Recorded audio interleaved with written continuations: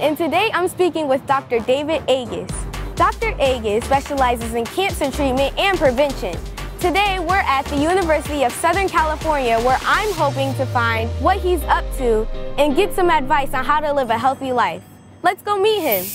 Hello, my name's Ryann. It's nice to meet you. Ryann, it's great to meet you, and thank you so much for coming to sunny Los Angeles. Thank you. I know that what you study, you study cures for cancer, right? Right. So I know that's called an oncologist, correct? Mm-hmm. So what's the importance of the job of an oncologist, and what do you do? Well, I try to make people live longer and better. And so it's a privilege in that regard. And I always win. This morning I got a call at 5 a.m. that a patient of mine had passed away from this horrible disease we call cancer. But I was able to make him live longer and better. And that's my goal, is to be a quarterback and try to push as much as we can to make a difference. Do you think there's ever going to be a cure of cancer in my lifetime or yours? The answer is probably no. Um, and I'm not trying to be a downer or negative, but I think we're going to make it a chronic disease. So, in a sense, a tie.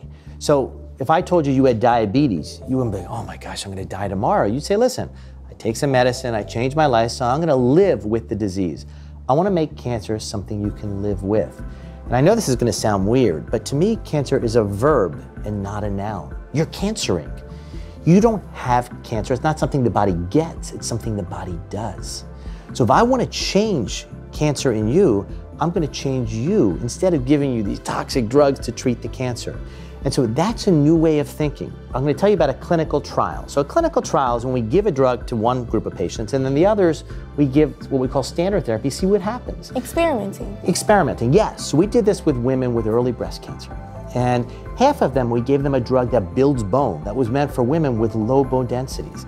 And half we gave placebo, because we normally just wait for the cancer to recur.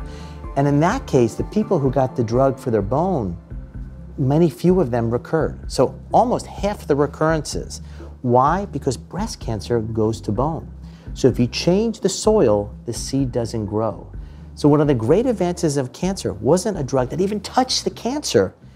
It changed the soil so the seed didn't want to grow. And that's a whole new way of thinking. It's an engineer's approach, if you will, than thinking about cancer.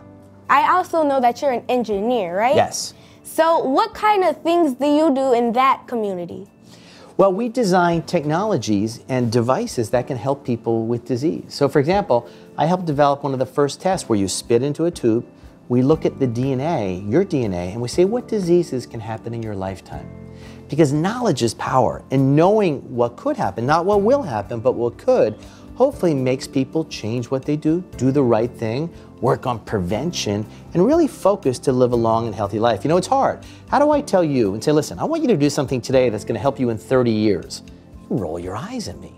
So it's really hard in health to get people to change behavior today to help for tomorrow. I want to talk about being healthy because me as a kid and other children, we love eating things like hamburgers and hot dogs and chicken nuggets. What?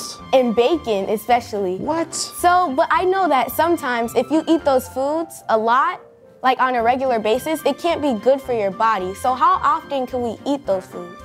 You know, when I was a kid, my parents always said, moderation, moderation, moderation. And I rolled my eyes at them, but they were right.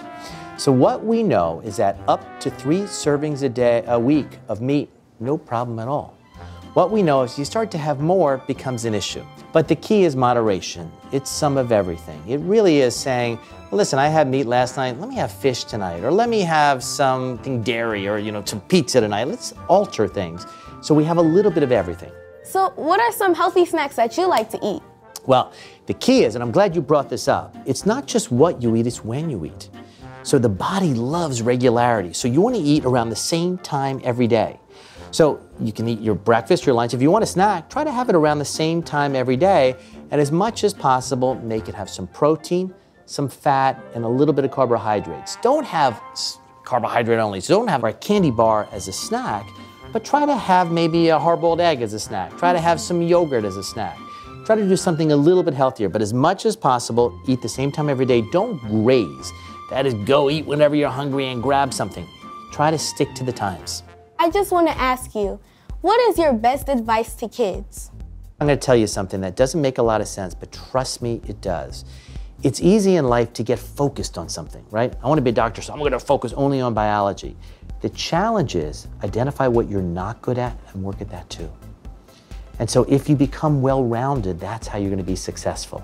So it's easy to do what you're good, but focus also on what you're not good at to really go to that next level and make a difference.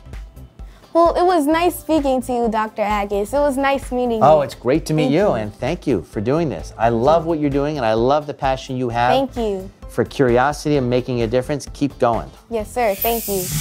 I love speaking to Dr. David Agus. I learned much more about his experiences and what he does being a doctor. And I may be even convinced to become a doctor when I grow up. See you next time.